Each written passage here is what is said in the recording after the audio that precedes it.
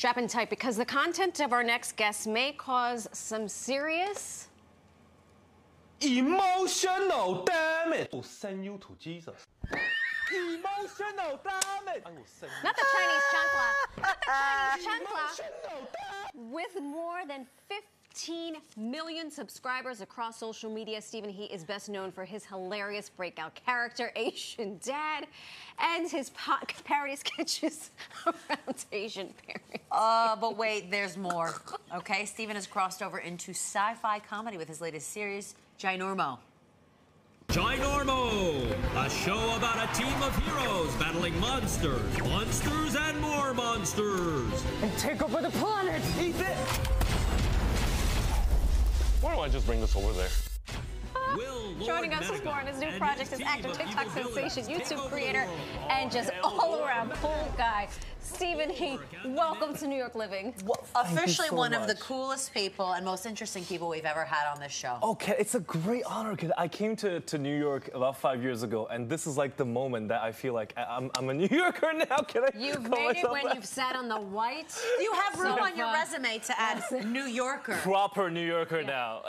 Okay. We were getting into his backstory. If only the cameras were rolling at this point. Okay, uh, you are. What is your background? I am Chinese Irish. Chinese Irish. I, do you hear the brogue?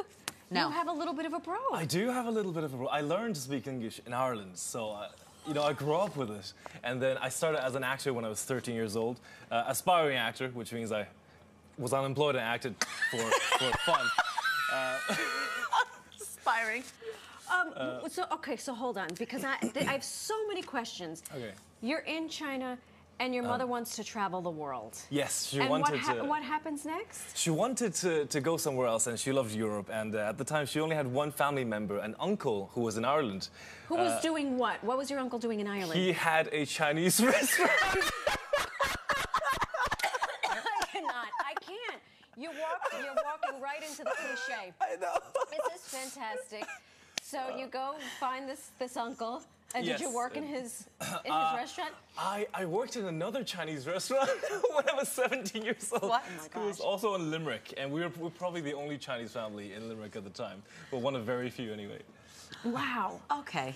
So he comes. Obviously. it's not a checkered past, but it is, it is a very illustrious one. It's a unique one, yes. I'm, I'm a rare limited edition, one of one.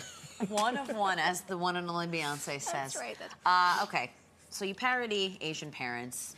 Yes. And failure management. Yes. Can you talk to us a little bit about what that means? Oh, I Obvi- love- I, I feel like. I'm starting to understand where you're getting the Yeah. uh, inspiration for your content from in your world travels. Yes, I, I make a lot of content. I started acting when I was 13, and I've been like Comedy Central, uh, a couple of films, and then the pandemic hit, and I started making my own videos. And comedy skits was always the thing that I, I just was so passionate about. So I made hundreds of skits, and around skit number 220. Uh, I came up with the idea of parodying like stories growing up in China. Sure. And that's how the character came about. And then uh, I think we, we went to like 2 million subscribers then. And uh, at about 2 million, emotional damage happened. And then it just became this, this global thing. It's like being on money. It's like yeah.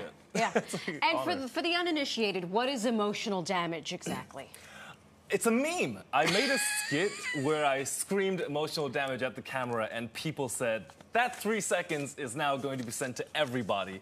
So that's what it has Oh, become. there it is. We actually And- have a clip Yeah. of the video that really kicked things off for you. Yeah. Yes. Let's take a let's take a You listen. looking at Harvard University do better huh? NASA job applicate How are you going to get girlfriend? You're up in space pooping in vacuum. What is this failure? Oh, it's his YouTube channel. Okay. Look, my TikTok get more followers than you lah. What? What Uh, yeah, does that's- your family think of this? What is your? because I mean, listen, we make I make fun of my Puerto Rican tribe all the time. We talk about the chanclas and the and the yeah, you know, I I'm, I'll only be successful when I'm a doctor or a lawyer, but right? I think this comes with we a come lot from a similar. It's amazing how many people relate to Yeah. it. Like I love, um, like you know, satirizing how in our culture nothing's ever good enough. You Uh-huh. know? Mom, I won an Oscar. Why didn't you win two?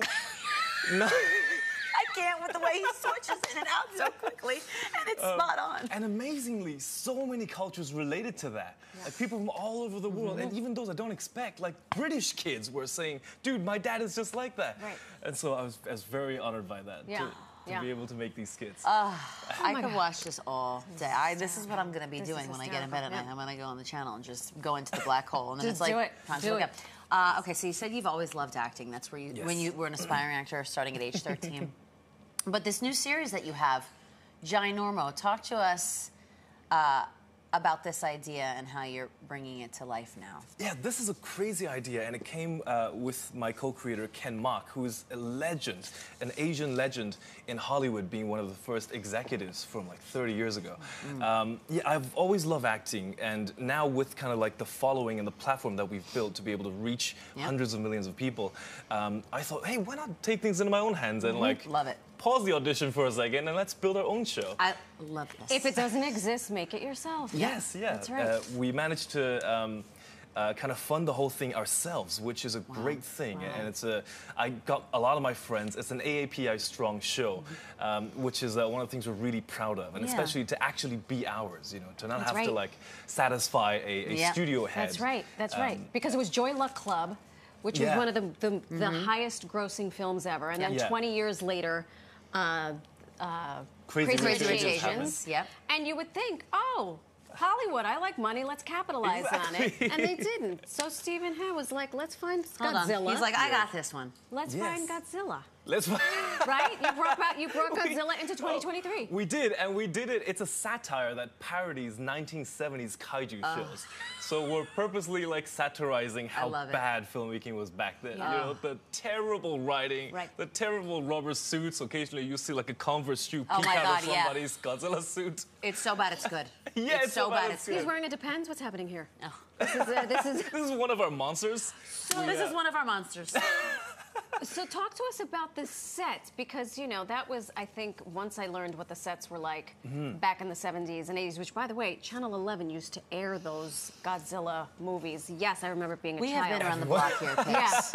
Talk to us about the, the, the set building and where it exists. The set was was built by a legendary model maker, Fon Davis, who's built uh, things you would definitely like R2D2, Millennium Falcon. Oh, my God. Um, and he is a fellow um, AAPI uh, artist in Hollywood. Mm-hmm. Uh, we built a lot of things for real, which is really rare nowadays because you know everything goes to CGI immediately. Sure, right. So we actually build the, the mini cars that are remote controlled to make them actually drive. No way. Um, the miniature cities that we kind of like cheat to get these giant monster suits. Right.